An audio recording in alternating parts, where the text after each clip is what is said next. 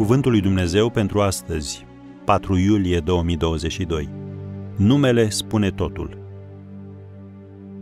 Fii pe pace, nu te teme, căci nu vei muri. Judecători 6, versetul 23. Un alt nume compus al lui Dumnezeu, Yahweh Shalom, Domnul Păcii, a fost descoperit de Gedeon atunci când Dumnezeu l-a însărcinat să conducă poporul Israel împotriva madianiților, răspundere pe care Gedeon a considerat-o mult peste abilitățile sale. Citim în versetul 15 din Judecător 6, Cu ce să izbăvesc pe Israel? Iată că familia mea este cea mai săracă din Manase și eu sunt cel mai mic din casa tatălui meu. Și Domnul i-a răspuns, în versetele 16 și respectiv 23, Eu voi fi cu tine și vei bate pe Madian. Fii pe pace, nu te teme, căci nu vei muri. Aceste cuvinte ieșite din gura Domnului l-au marcat așa de tare pe Gedeon încât a construit un altar pe care l-a numit Domnul Păcii, Yahweh Shalom.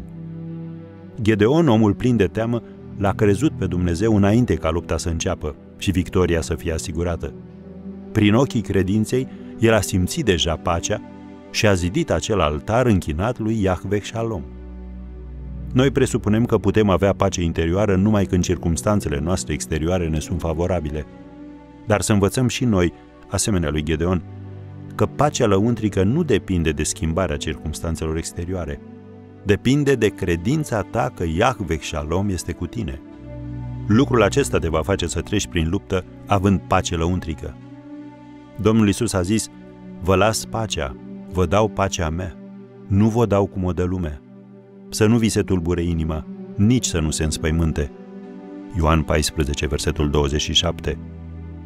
Indiferent cât de înspăimântat te-ai simți în aceste momente, nu uita aceste cuvinte din Ioan 16, versetul 33. V-am spus aceste lucruri ca să aveți pace în mine. Îndrăzniți, eu am biruit lumea. Datoria ta este să îndrăznești, pentru că Iahveh Shalom este cu tine și să crezi că Hristos va rezolva circumstanțele în locul tău.